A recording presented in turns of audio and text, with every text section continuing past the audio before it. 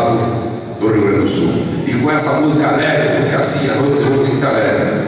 Que é eu trago aí nos fatos.